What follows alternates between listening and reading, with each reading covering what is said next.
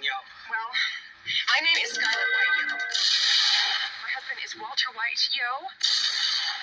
Uh huh. He told me everything.